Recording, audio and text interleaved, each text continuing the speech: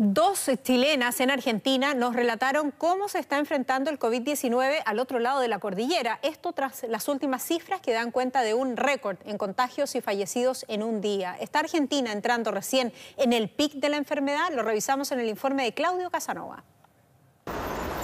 Mañana van a ser 120 días de cuarentena. Yo la verdad estoy mentalizada que hasta fin de año yo no voy a salir de acá. Estas chilenas son protagonistas de una de las cuarentenas más extensas del mundo. Argentina comenzó su periodo de confinamiento hace casi cuatro meses. Sin embargo, las cifras de contagio al otro lado de la cordillera no dan una buena señal.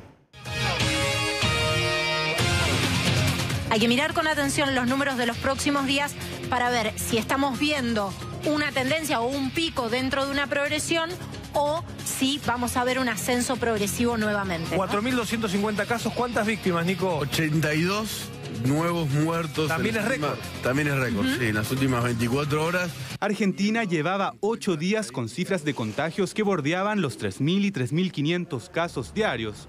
Desde el área médica apuntaban que este sería el pic. Por eso, superar la barrera de los 4.000 infectados en las últimas 24 horas causó preocupación. Yo creo que viéndolo desde el lado de la medicina, tal vez no se lo esperaban, pero nosotros como, como, personas naturales, yo creo que ya llegó un momento en que para mí es casi obvio que iba a pasar porque la gente no puede estar 100% encerrada. Siempre pensé que iban a, íbamos a superar los 4.000 contagiados. Es más, creo que hay mucho más contagiados de lo que pensamos o de lo que hay registro. Si bien a partir del 18 de julio el gobierno argentino planeaba reabrir algunos comercios y otros locales para incentivar la economía, hoy este paso de desconfinamiento se ve un poco más lejano.